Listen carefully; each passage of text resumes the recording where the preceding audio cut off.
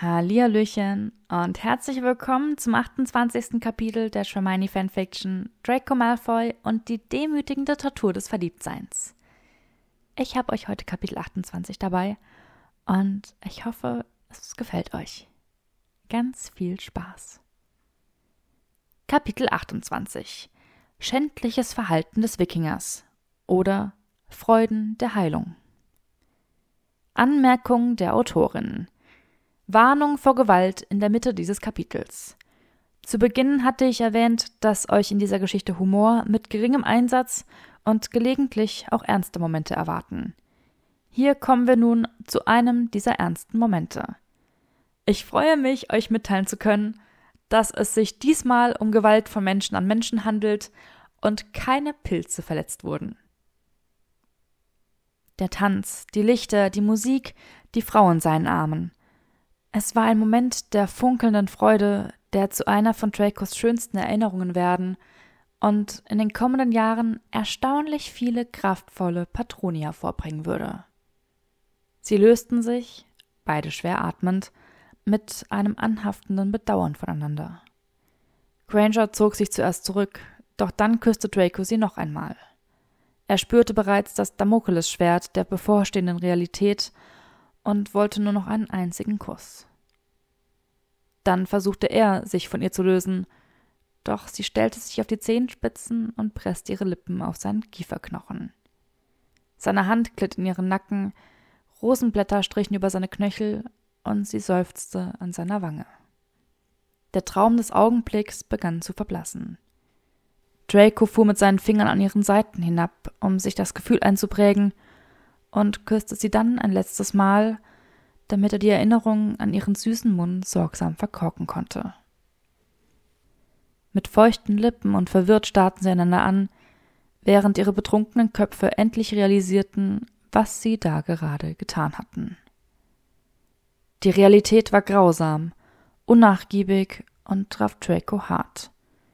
Sein Gehirn, das allem Anschein nach den ganzen Abend lang abwesend gewesen war, meldete sich auf einmal wieder zu Wort. Es fragte ihn anklagend, was zum Teufel er eigentlich dachte, was er da gerade tat. Ein Auror knutschte immerhin nicht mit seiner Klientin. Granger wirkte genauso verwirrt, wie er sich fühlte. Sie trat einen Schritt zurück. In der Bewegung lagen Selbstvorwürfe, Bedauern und Schrecken. Sie betrachteten sich gegenseitig mit wachsender Beunruhigung und der verzweifelten Hoffnung, man könne vielleicht behaupten, es sei überhaupt nichts passiert. Granger, die sichtlich angeschlagen war, fand ihre Sprache zuerst wieder.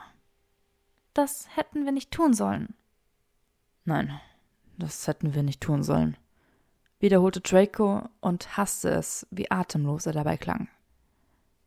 Granger sah zu Boden, zu den Spiegeln, überall hin, nur nicht zu ihm. Ich weiß, dass wir nicht. Ähm. Also ich weiß, dass. Offensichtlich weißt du. Ja, offensichtlich. Und außerdem, wir sind nicht. Nein. Wir haben eine berufliche Beziehung, sagte Granger. Und für so etwas gibt es strenge Regeln. Aus guten Gründen. Es gibt welche, ja. Also Regeln. Und einen unmissverständlichen Verhaltenskodex, was, was diese Dinge betrifft. Genau, natürlich. Das war mein Fehler, murmelte Draco. Ja, wir waren beide, beide betrunken. Es wird nicht wieder vorkommen.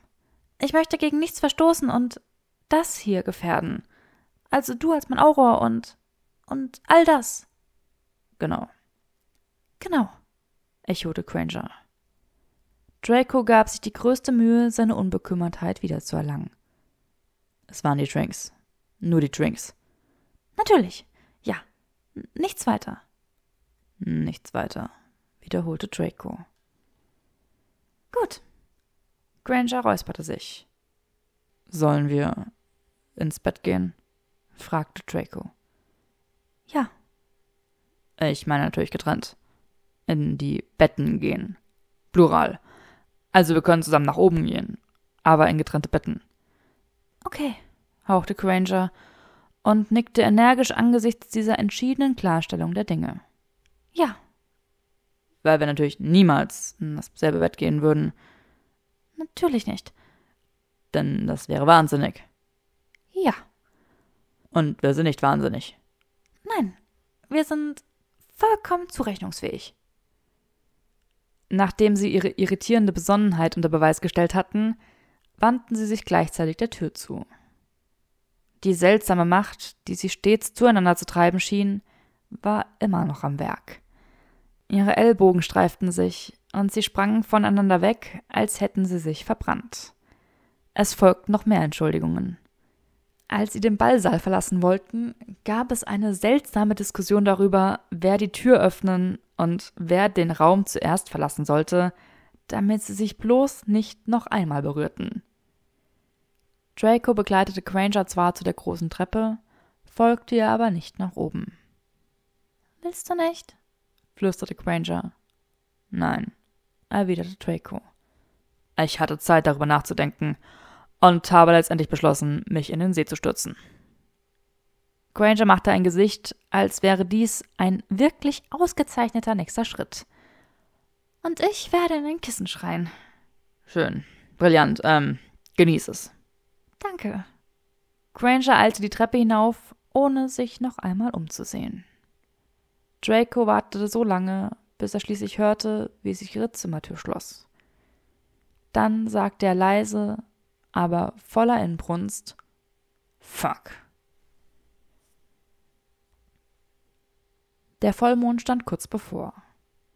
Das Zaubereiministerium, das versuchte, die öffentliche Sicherheit mit der öffentlichen Hysterie in Einklang zu bringen, gab eine Empfehlung heraus, in der die magische Gemeinschaft dazu aufgefordert wurde, während der drei Nächte des Jägermonds aufgrund mutmaßlicher Werwolf-Aktivitäten in ihren Häusern zu bleiben. Potter, die WTF und jeder verfügbare Auror begaben sich während des Jägermonds selbst auf die Jagd und schnappten insgesamt 30 Werwölfe, die sich für ihre Verwandlungen an Orten positioniert hatten, an denen die Chancen darauf, Menschen zu infizieren, voraussichtlich am größten waren. Sieben Werwölfe wurden jedoch nicht rechtzeitig gefasst und infizierten insgesamt 15 Menschen. Fünf weitere erlagen sogar ihren Verletzungen. Grangers Arbeit erhielt demnach eine neue Dringlichkeit und Dracos Legilimentik war so gefragt wie nie zuvor. Doch Fenrir Greyback war vorsichtig. In den Köpfen der Gefangenen war nichts Hilfreiches zu finden. Die Fallen in den Sicherheitshäusern und in Granters Cottage führten zu vier weiteren Verhaftungen.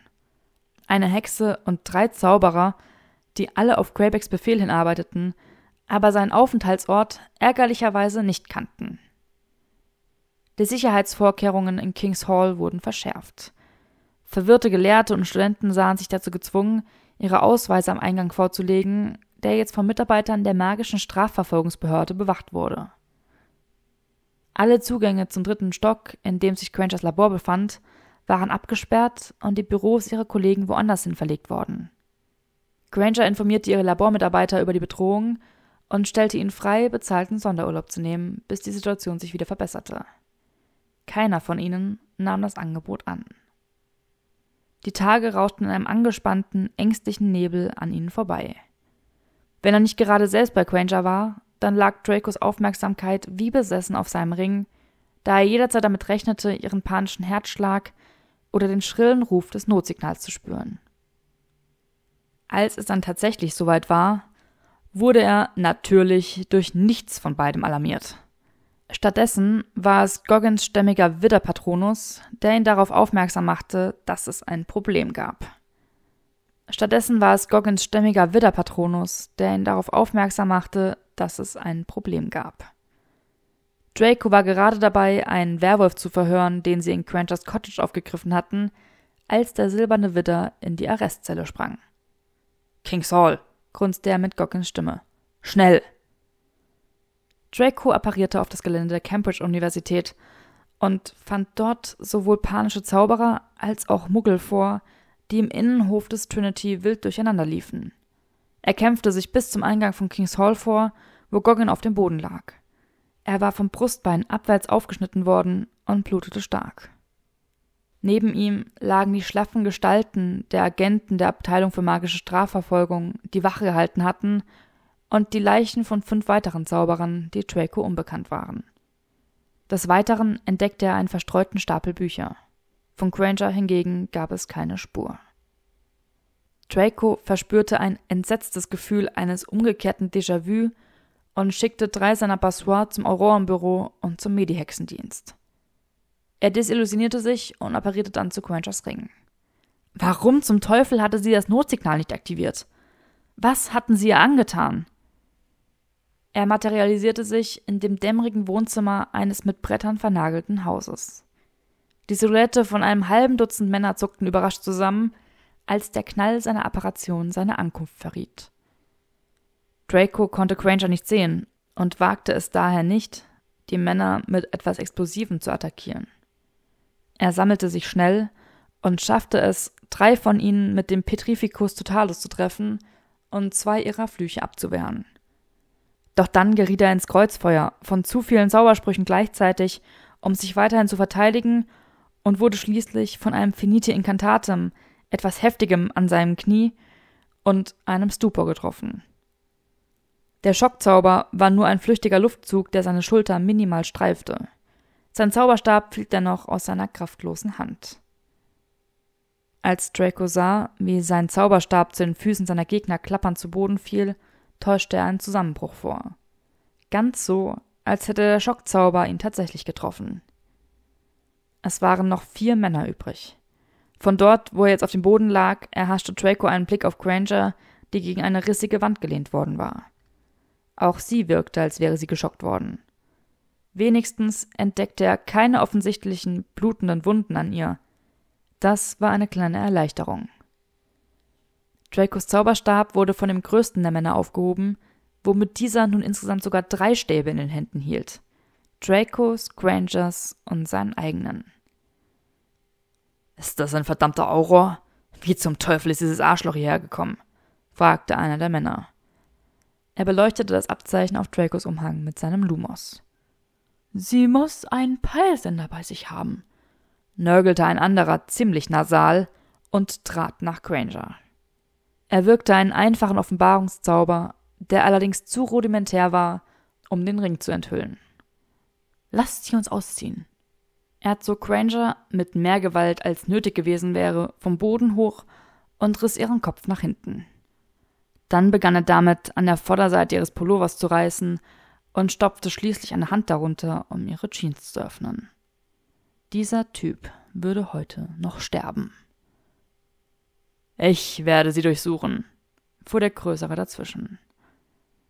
Dieses leicht akzentuierte Krollen, der rotblonde Schimmer des Bartes. Es war Larsen.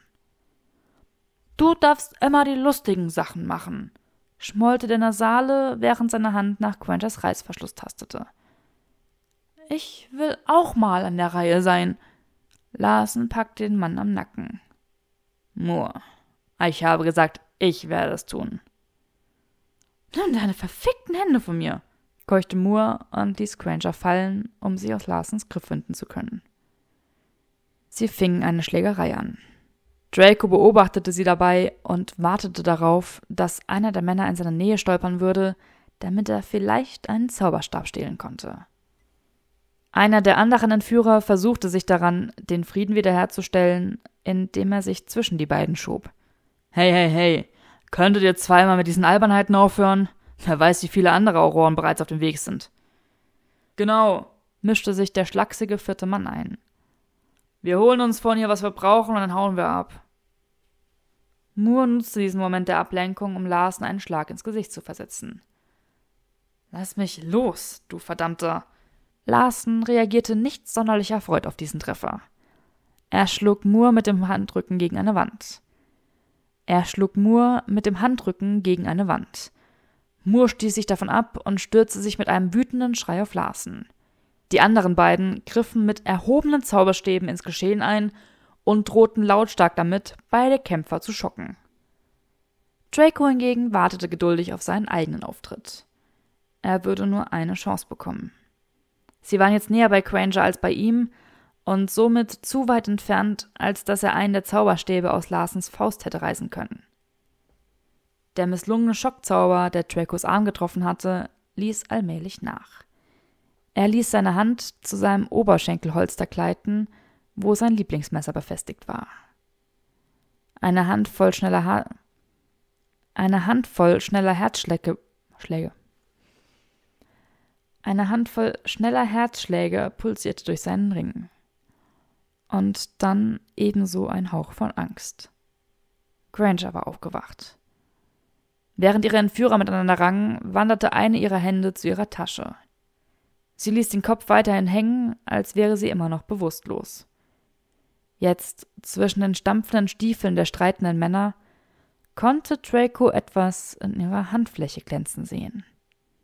Es waren ein paar ihrer Anti-Magie-Scheiben. Oh. Oh. Granger war im Begriff, das Spiel zu drehen. Draco wartete geduldig. Mit einigen unglaublich flinken Bewegungen ihres Handgelenks verteilte Granger die Scheiben in den Ecken des Raums. Unter heruntergekommene Möbel und in dunkle Winkel. Einer der Männer bemerkte ihre Bewegung. Was zum Teufel hat sie da gerade gemacht? Was meinst du? Ich habe gesehen, wie sie, ich weiß nicht genau, gezuckt hat. Sah so aus, als hätte sie irgendwas geworfen. Sie versammelten sich um Granger. Larsen packte sie am Kinn und presste seinen Zauberstab an ihre Schläfe. Legilimens. Aber es war bereits zu spät. Draco hatte die Veränderung der Atmosphäre in dem Moment gespürt, in dem das antimagische Kraftfeld sich gebildet hatte. Es hatte sich angefühlt, als wäre tief in ihm etwas ausgelöscht worden. Als wäre da ein plötzliches Nicht-Vorhandensein. In diesem Raum würde keine Legilimentik mehr stattfinden. Was zur Hölle passiert hier? fragte Moore. Der Schlachsige presste eine Hand auf seine Brust, als hätte man ihm den Atem geraubt. Was zum. Draco gab ihnen keine Zeit, die Umstände näher zu ergründen. Er sprang auf die Füße, machte drei Schritte auf die Gruppe zu und rammte sein Messer seitlich in den erstbesten Hals.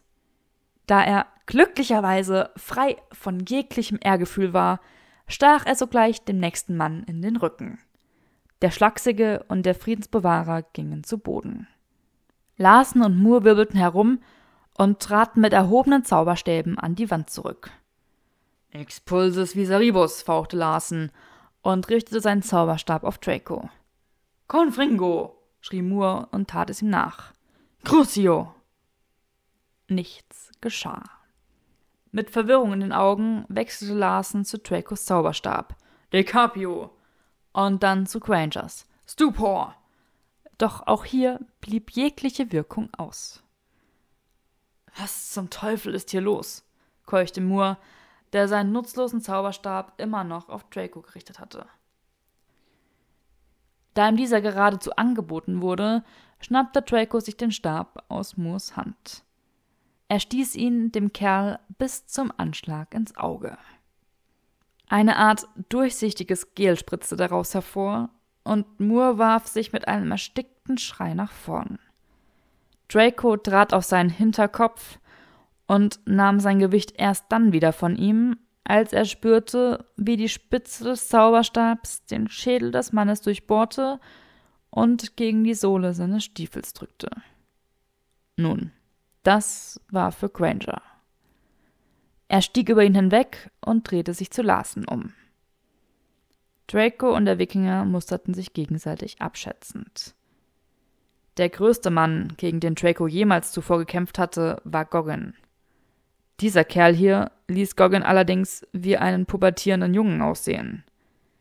Draco war klug genug, um zu wissen, dass Larsen ihm körperlich meilenweit überlegen war und in jeder anderen Situation hätte er sich deswegen zurückgezogen.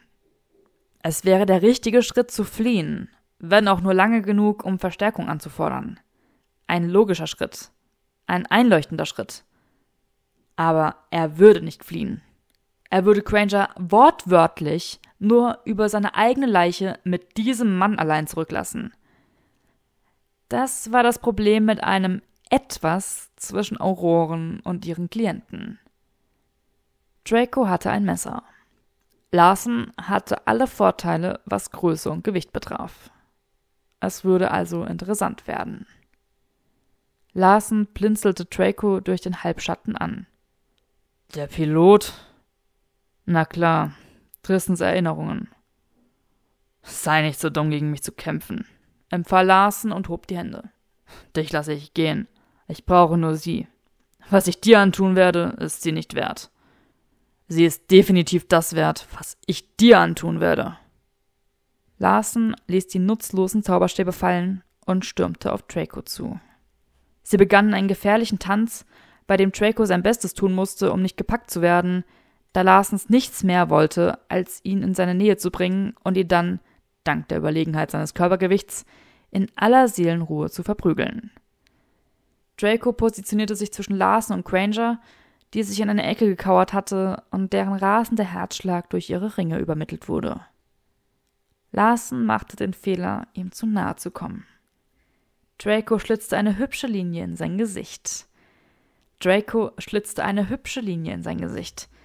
Daraufhin traf ihn ein Schlag, der eigentlich für seine Kehle bestimmt gewesen war, in die Brust. Er spürte ein Knacken. Draco schlug mit dem Messer zu. Larsen duckte sich im letzten Moment weg und verlor statt seines Lebens nur ein Ohr. Sie separierten sich. Draco fiel es schwer, wieder zu Atem zu kommen. Irgendetwas in seinem Brustkorb saß nicht an der richtigen Stelle. Larsen berührte die Seite seines Kopfes und betrachtete verwundert seine blutverschmierte Hand. Der Fleischlappen, der einst sein Ohr gewesen war, lag nun auf dem Boden. Sie starrten einander an. Draco vermisste seine Legilimentik in diesem Moment sehr. Larsen knurrte und stürzte sich erneut auf ihn. Draco landete einen Tritt gegen seinen Solarplexus, der ihn eigentlich in die Knie hätte zwingen müssen. Doch das tat er nicht. Stattdessen hielt sich Larsen nur für einen kurzen Moment damit auf, bevor er seine Taktik änderte und sich darauf konzentrierte, das Messer aus Dracos Hand zu reißen. Draco sah eine Chance für einen sauberen Haken und ergriff sie. Seine Faust krachte in das Auge des Mannes. Er fühlte die exakten Umrisse von Larsens Augenhöhle an seinen Knöcheln und spürte eine Art Knirschen. Spätestens dieser Schlag hätte jeden anderen Mann auf den Arsch befördert, aber nicht den Wikinger. Er schüttelte sich lediglich und griff dann erneut nach dem Messer. Draco begrüßte seine tastende Hand mit der Messerspitze und stieß diese durch Larsens Handfläche. Eben jener riss seine Hand weg und holte mit der anderen zu einem Aufwärtshaken aus. Draco konnte nur teilweise ausweichen. Er wurde am Kiefer getroffen und sah Sterne.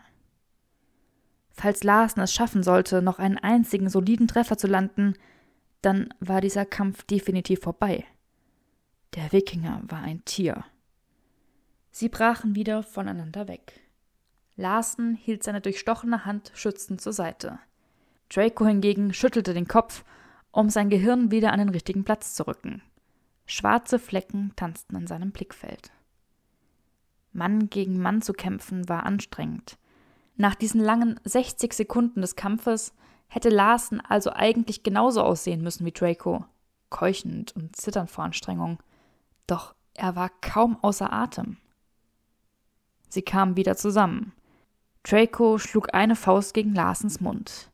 Der Wikinger wurde von seinem Kurs abgebracht und trudelte davon. Jetzt war er wütend. Er spuckte Zähne aus. Dann stürzte er wieder auf Draco zu, unverschämt schnell für einen derart großen Mann, und schaffte es tatsächlich, ihm das Messer aus der Hand zu treten. Sie tauchten gleichzeitig danach. Als Larsen ihn zu Boden rang, begriff Draco, dass der Kerl sich überhaupt nicht für das Messer interessiert hatte. Er hatte lediglich darauf spekuliert, Draco in Reichweite seines monströsen Körpergewichts zu bringen. Und jetzt war Draco festgenagelt.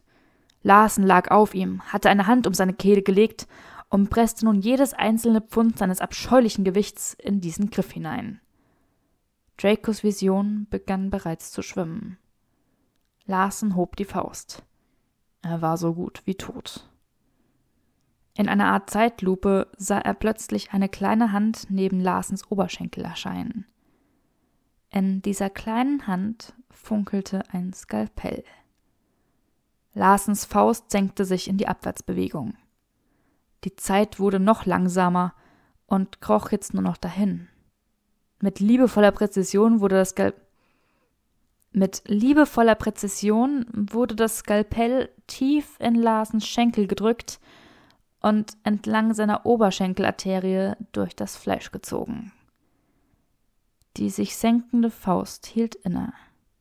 Larsens Hose platzte entlang des Schnitts auf. Ein herrlicher Schwall Blut ergoss sich. Ein herrlicher Schwall Blut ergoss sich. Und die Zeit beschleunigte wieder.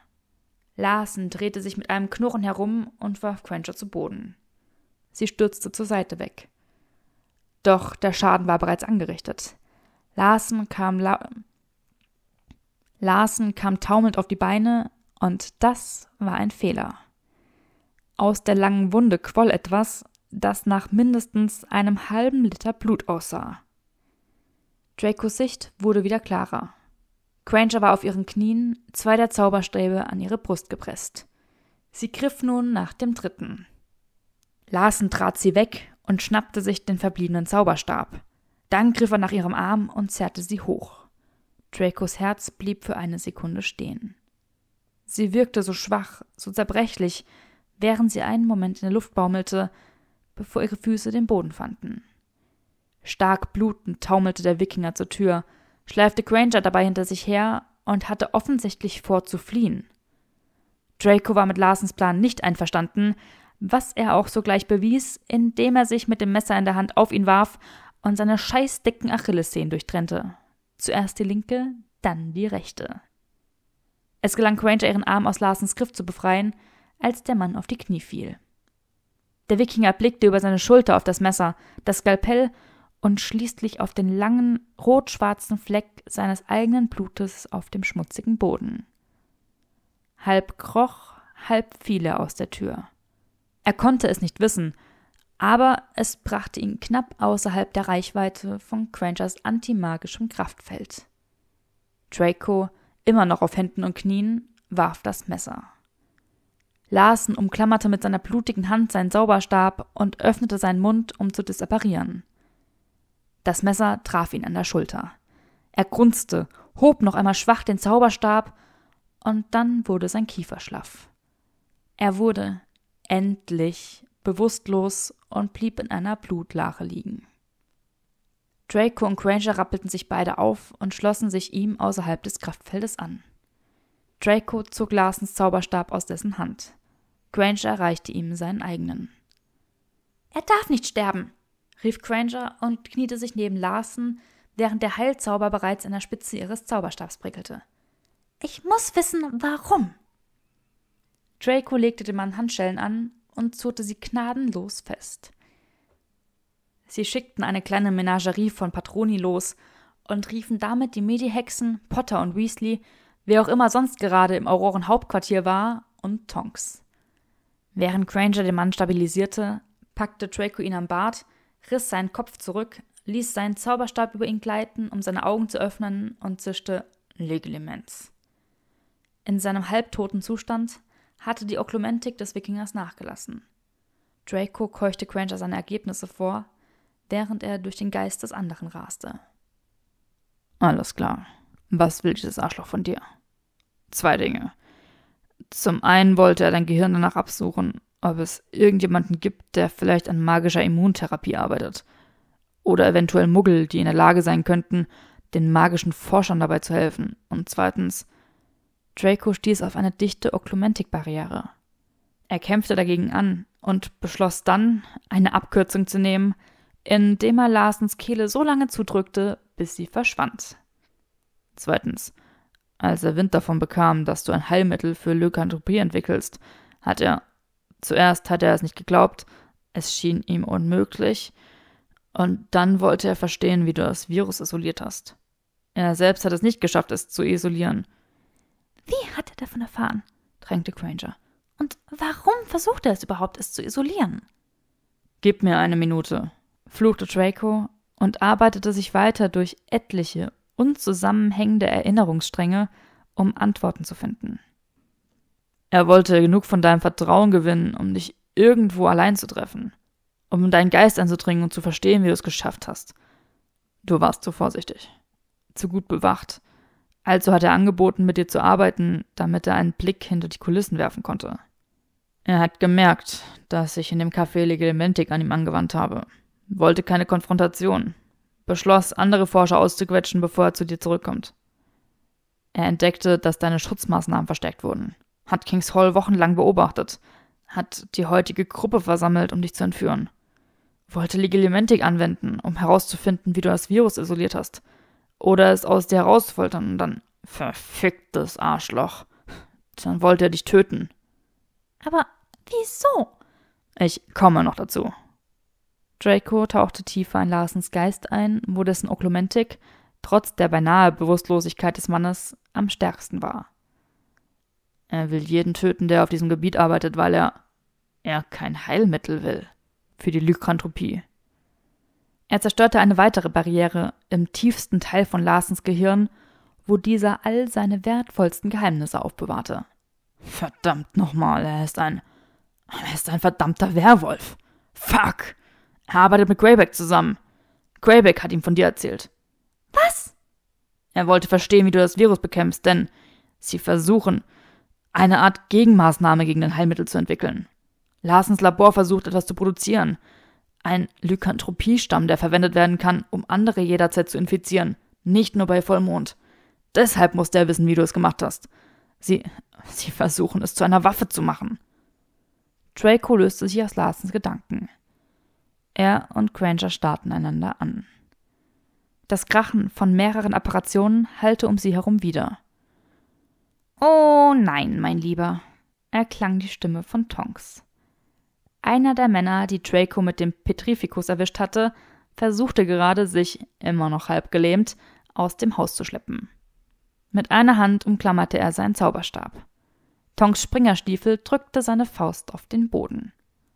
Bringt sie heraus, befahl Tonks.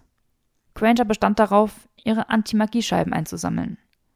Dann apparierten sie, blutiger Arm in blutigem Arm, zum Männer. Im Männer wischten sich Draco und Granger das Blut aus dem Gesicht und hielten dann ein Gipfeltreffen mit Tonks, Shacklebolt, Potter und Weasley ab. Granger wurde viel umarmt und Draco viel auf die Schultern geklopft. Er wich den Umarmungen aus. Nachdem die erwarteten Vorhaltungen und die allgemeine Aufregung vorüber waren, setzten sich die sechs um einen Teekessel mit Opimum, um den Vorfall zu besprechen. Die Pläne von Larsen und Quayback waren ein Schock für alle. Greybacks übliche rachsüchtige Form des Wahnsinns war das eine, aber nun gab es eben auch noch etwas anderes. Eine gemeinschaftliche Anstrengung, eine grausame Krankheit in großem Umfang zu verbreiten und jeden Forscher zu töten, der auch nur im entferntesten dazu in der Lage war, ein Heilmittel zu entwickeln. Es ging weit über das hinaus, was sie ihm je zugetraut hatten. Verschafft mir bis Dezember Zeit, bat Granger mit blassem Gesicht. Draco erfuhr, dass Granger beim Verlassen von Kings Hall sofort geschockt worden war, was zumindest erklärte, warum er nicht den geringsten Hinweis auf ihre missliche Lage durch seinen Ring erhalten hatte. Goggin und die Agenten der Strafverfolgungsbehörde hatten fünf Männer erledigt, bevor sie von der Zahl ihrer Gegner überwältigt worden waren. Goggin befand sich nun im St. Mungo und erholte sich von demselben üblen Ausweidefluch, den Larsen auch versucht hatte, auf Draco zu schleudern. Indem sie Granger angegriffen hatten, als sie Kings Hall verließen, hatten ihre Entführer ihre einzige Schwachstelle ausgenutzt. Den einzigen Moment, in dem sie nicht von Schutzzaubern umgeben war. Nämlich genau den, in dem sie aus dem Gebäude treten musste, um zu disapparieren. Shacklebolt verkündete, dass er mit der Abteilung für magisches Transportwesen sprechen würde, um einen Flugkamin in Quenters Labor installieren zu lassen, damit sie nie wieder die schützenden Mauern von King's Hall verlassen musste. Greyback spielte jetzt ein völlig neues Spiel. Unter dem Gewicht von Shacklebolts und Tonks wütenden Blicken stimmte Granger mit offensichtlichem Schmerz schließlich zu, ihre Schichten in der Notaufnahme des St. Mungo aufzugeben. Wenn Larsen mutig genug für eine Entführung am helligsten Tage im Trinity gewesen war, bestand jetzt auch die reale Möglichkeit, dass Greyback mutig genug sein würde, etwas in der Notaufnahme zu inszenieren. Tonks verkündete, Sie würde das dänische Aurorenbüro über Larsens Angriffe, sein Labor und seine abstoßenden Pläne informieren. Potter, Weasley und sie selbst schickten sich schließlich dazu an, ins Ministerium zurückzukehren, um Larsen mit Veritaserum vollzupumpen und alle Informationen zu extrahieren, die er über Quabecks letzten Aufenthaltsort haben könnte. Draco stand auf, um sich ihnen anzuschließen, aber Tonks verbot es ihm kategorisch. Sie fuhr ihn an, dass er sich setzen solle, und sagte ihm schließlich, er müsse nicht den Märtyrer spielen. Für einen Tag habe er verdammt nochmal genug getan. Wenn du irgendwo hingehst, dann in St. Mungo, schnaubte sie, während sie Dracos zahlreiche Verletzungen beugte. Ich kümmere mich um ihn, versprach Granger. Das Gipfeltreffen löste sich auf. Draco und Granger duschten und trafen sich, beide leicht in Mitleidenschaft gezogen, in einem der kleineren Salons wieder. Draco humpelte. Dieser kolossale Ficker war so schwer. Ich glaube, er hat mir eins meiner Eier zerquetscht. Henriette und Chubby schwebten ängstlich um sie herum und boten Tee, noch mehr Opium und Schokolade an, bis sie sanft hinausgescheucht wurden. Granger und Draco machten eine Bestandsaufnahme ihrer Verletzungen. Bei Granger handelte es sich größtenteils um Prellungen, wo sie herumgeschleudert, gepackt und getreten worden war. Es gab welche an ihren Handgelenken, ihren Armen und ihrem Kiefer. Der Anblick der Male ließ Draco gefährlich am Rande eines plötzlichen Wutausbruchs schwanken. Etwas davon musste in seinem Gesicht zu sehen gewesen sein. Granger warf ihm einen verwirrten Blick zu und heilte sich mit ein paar schnellen Bewegungen ihres Zauberstabs. Die Prellungen waren verschwunden. Die Wut blieb. Draco sammelte sich mühselig und stopfte das Gefühl weg. Dann fand er sich umgeben von dem grünen Schein einiger Diagnosezauber, als Granger damit begann, ihn zu untersuchen. Er betrachtete die Piktogramme, die vor kryptischen Bedeutungen nur so wimmelten. Du bist eine nützliche Hexe, erklärte Draco. Und du bist ein anständiger Zauberer, murmelte Granger. Danke. Für heute. Mal wieder. Absolut brillanter Schachzug, deine Scheiben zu benutzen. Ich war außerordentlich froh, dass du ein Messer hattest. Ich hatte schon vor, dir das Skalpell zuzuwerfen. Granger war für eine Weile still, während sie die Diagnostik studierte. Dann sagte sie Ich spiele nicht besonders gerne Jungfrauennöten. Du bist auch nicht sonderlich gut darin. Ich habe noch nie gesehen, dass jemand eine Oberschenkelarterie mit solch erhabener Genauigkeit getroffen hat. Dafür war er wunderbar positioniert. Es herrschte Schweigen. Ihre Hände waren ruhig, während sie sich durch ein paar weitere Diagnosezauber wischte. Geht es dir gut? wollte Draco wissen. Warum fragst du? Weil ich einen Mann aufgeschlitzt habe? Ja, und wegen allem. Im Moment bin ich wütender als alles andere. Das Opium lindert den Rest. Und dir? Alles okay. Mir steht der Sinn nach Rache. Ich bin schon dabei, Larsens Unfalltod zu planen. Für den Tag, an dem ich ihn verhöre. Und ich fantasiere über Quabecks gewaltsamen Mord durch meine Hände. Also ja, alles okay. Granger warf ihm einen Seitenblick zu. Schwächt das Fantasieren über einen Mord nicht die eigene Moral? Ich besitze keine einzige moralische Faser, von der man sprechen könnte. Nicht? Nein, ich habe alles für die Waisenkinder aufgebraucht. Granger hielt inne. Sie wandte sich ab und lachte in ihre Hände. Dann atmete sie tief durch und sah ihn wieder an. Hör auf, albern zu sein. Wir haben zu tun. Nein, er würde nicht damit aufhören, albern zu sein. Er sah sie gerne lachen. Es erweckte ein flatterndes Gefühl in ihm. Außerdem erwachte nun seine typische Postadrenalinerregung und das Granger-induzierte Flattergefühl versuchte immer wieder in seine Lenden zu sinken. Beruhig dich, alter Junge. Granger, die Draco und seinen flatternden Schritt glücklicherweise nicht wahrnahm, verwarf ein paar der Schemata und machte eine Bestandsaufnahme seiner Leiden. Diese bestanden aus einem blauen Auge, zwei gebrochenen Rippen, einem verstauchten Knie, natürlich ausgerechnet das bereits ledierte, und einem gebrochenen Kiefer. Es erfreute sie, Draco darüber informieren zu können, dass keines seiner Eier ruptiert worden war. Sie verließ den Raum, um sich die Hände zu waschen. Dann kam sie zurück und wurde ganz heilerisch, ernsthaft und konzentriert, mit einer gewissen Autorität in ihrer Haltung. Alles klar, dann werden wir dich mal reparieren. Wir beginnen mit den Rippen. Zieht dein Hemd aus. Draco gab sich Mühe, über diese Gelegenheit nicht allzu erfreut zu wirken. Er wurde angewiesen, sich auf das Sofa zu legen, was er liebend gern tat. Dann verschränkte er die Arme hinter dem Kopf. Einerseits, weil es bequem war, aber auch, weil es seine Brustmuskeln zum Platzen brachte. Quasi als Bonus für Granger. Und außerdem konnte er mit seinem Sixpack wackeln. Das durfte sie auch gerne bemerken.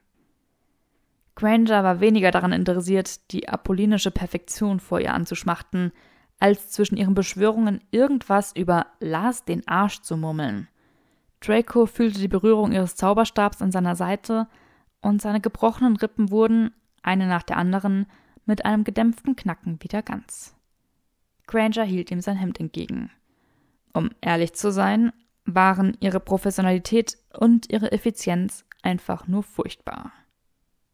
Draco zog sein Hemd wieder an, da Granger, die es zwischen zwei Fingern hatte baumeln lassen, nun ungeduldig damit wedelte. Als nächstes war sein verletztes Knie an der Reihe. Draco bot an, seine Hose auszuziehen. Nein, sagte Granger, er könne einfach sein Hosenbein hochkrempeln. Bestialisch. Draco krempelte sein Hosenbein hoch. Sie heilte sein Knie. Als nächstes war sein blaues Auge an der Reihe, was nur einen kurzen Moment dauerte. Draco sinnierte ein wenig. Vielleicht hätte er sich zu Brei prügeln lassen sollen, um Granger mehr Schwierigkeiten zu bereiten und ihr mehr Gründe dazu zu geben, ihn auszuziehen. In einem weiteren Anfall von Wahnsinn dachte er schließlich, dass er sich vielleicht wirklich ein Ei hätte zertrümmern lassen sollen. Schließlich gelangte Granger zu seinem gebrochenen Kiefer. Eine leuchtende Darstellung von Dracos Schädel schwebte zwischen ihnen in der Luft. Er war sehr hübsch, wohlgeformt und hatte Wangenknochen, die genauso schön waren wie die von der Magdalena. Entlang des Unterkiefers blinkte ein roter Riss. Granger holte tief Luft. Der ist größer, als ich dachte, fluchte sie schließlich. Ich werde sanft sein, versprach Draco. Granger lachte auf, gewann dann rasch ihre Kontrolle wieder und warf ihm einen zutiefst unbeeindruckten Blick zu. Nachdem sie das Schema aus mehreren Blickwinkeln studiert hatte, verkündete sie, dass sie bei der Heilung dieses Bruches besonders vorsichtig sein wolle, um sicherzustellen, dass sein Kiefer richtig ausgerichtet war und sein Biss zukünftig nicht beeinträchtigt sein würde. Schön. Endlich. Vorsichtiger. Langsamer. Näher. Granger räumte einen der Beistelltische ab, damit Draco sich darauf setzen konnte. Hübsch, kommentierte sie, als sie dabei eine verzierte Sanduhr aus dem Weg räumte. Findest du? Das ist mein Urgroßonkel Snodsbury. Wie bitte? Draco drehte die Sanduhr, um es zu demonstrieren. Er wollte eingeäschert werden und trotzdem noch von Nutzen sein. Charmant. Draco setzte sich auf den Beistelltisch. Granger stellte sich zwischen seine Knie und nahm sein Gesicht in ihre Hände. Das war gut, dachte Draco, als er zu ihr aufsah. Sehr gut sogar. Granger erklärte, dass sie wüsste, wie schrecklich schwer es ihm fallen würde, aber dass er seinen Mund dennoch ganze sechs Minuten lang geschlossen halten müsse. Das war für Draco in Ordnung. Stattdessen würde er schmachten. Granger vergrößerte das diagnostische Bild und machte sich mit langsamen und präzisen Zauberstabbewegungen an die Arbeit. Sowohl ihre Finger als auch ihr Zauberstab lagen warm an seinem Kiefer. Draco schloss seine Augen, seufzte und tat dabei so, als würde er einfach nur seufzen und nicht, ihr wisst schon, den Duft einer frisch geduschten Granger einatmen. Seife und blitzsaubere Haut. Schade, dass er sich nicht einfach nach vorne lehnen, sein Gesicht zwischen ihre Brüste pressen und dort Luft holen konnte. Dracos Gewissen machte sich irritiert bemerkbar und wies ihn darauf hin, dass Granger eine traumatische Entführung hinter sich hatte.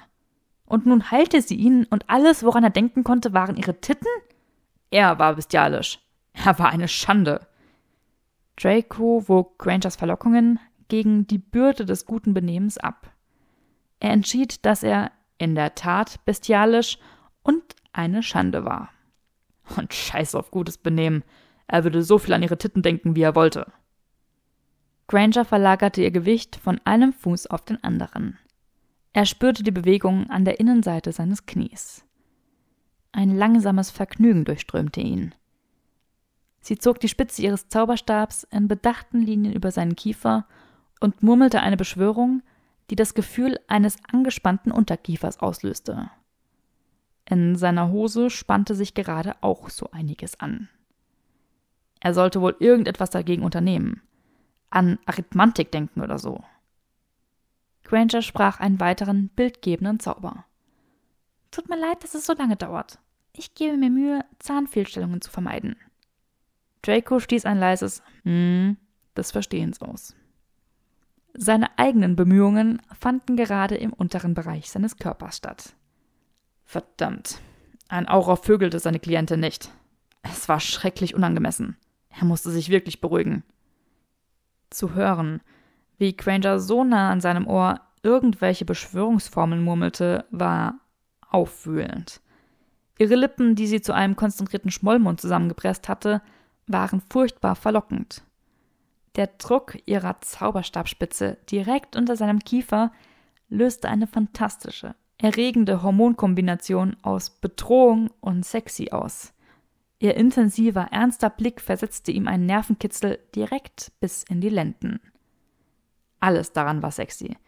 Es waren Sex der heißesten Minuten in Dracos Leben. Er wollte sie sich einfach schnappen und Hör auf zu grinsen, fauchte Granger. Ups. Wenn das hier schief heilt, dann wird die Hälfte deiner Zähne nur leere Luft kauen, schimpfte Granger. Und ich bezweifle, dass du Lust auf eine flüssige Diät hast. Draco hätte gerne angemerkt, dass er ihr ein paar Spritzer flüssiger Diät geben konnte, wenn sie daran interessiert war, aber leider durfte er nicht sprechen. Fast fertig, verkündete Granger, die jetzt, wo er sich, zumindest in ihren Augen, wieder benahm, viel weniger gereizt klang. Sie wirkte einen allerletzten Diagnosezauber und strich mit den Fingerspitzen über seine Wange, während sie das Schema studierte. Dann neigte sie seinen Kopf nach links und nach rechts. Perfekt, hauchte sie mit offensichtlicher Genugtuung. So gut wie neu. Du darfst dir sprechen. Sie tätschelte ihm sanft den Kiefer. Es war die gütigste Berührung, die er seit Jahren gespürt hatte. Er war komplett hart. Und er war eine absolute Schande. Granger tapste davon, um sich erneut die Hände zu waschen. Im Gegensatz zu Madame Pins hatte sie Merlin sei Dank nicht die Angewohnheit, seinen Schritt zu betrachten. Was ausgezeichnet war, denn momentan war dieser schon einen Schritt weiter. Draco blickte an sich herab und stellte erleichtert fest, dass sein offenes Hemd das Schlimmste kaschierte. Er beseitigte das Problem mit einer einzigen Zauberstabbewegung, blieb einfach auf dem Beistelltisch sitzen und fühlte sich wie der verwerflichste Mann der Welt. Was ihn normalerweise nicht stören würde.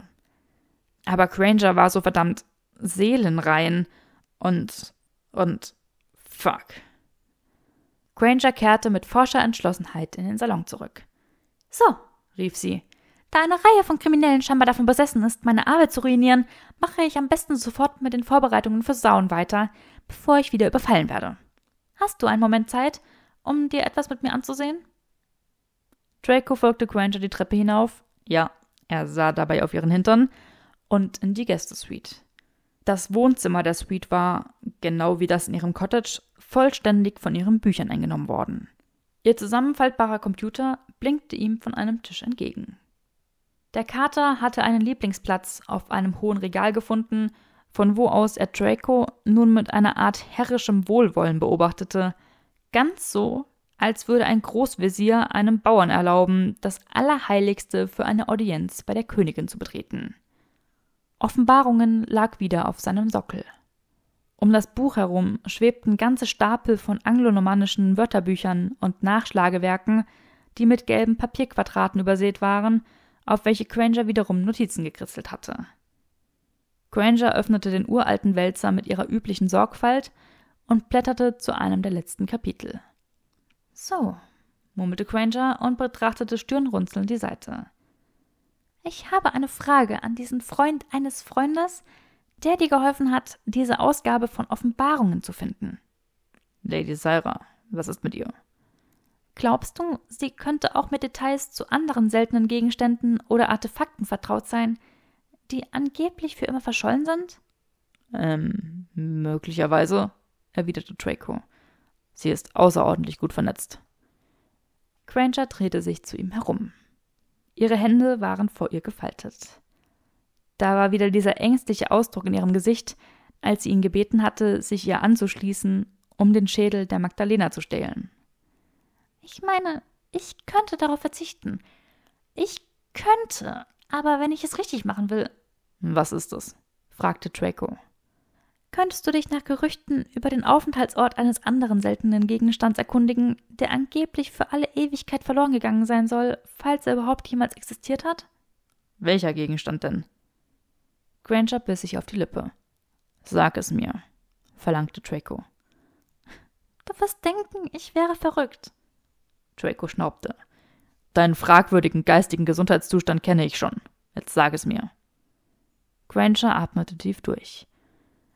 Wir suchen die Büchse der Pandora. So. Und damit endet das Kapitel und die Vorfreude auf ein wundervolles Abenteuer, was uns bevorsteht, kann jetzt beginnen. Ich hoffe, das Kapitel hat euch gefallen und nach diesem Kampf, der jetzt mit Larsen ausgefochten wurde, kann es ja nur noch besser werden. Also, ich freue mich riesig, wenn ihr beim nächsten Kapitel wieder dabei seid, wenn es dann jetzt mit dem nächsten Abenteuer losgeht, die Suche nach der Büchse der Pandora. Und bis dahin wünsche ich euch eine wundervolle Zeit. Ganz liebe Grüße, eure Kauli.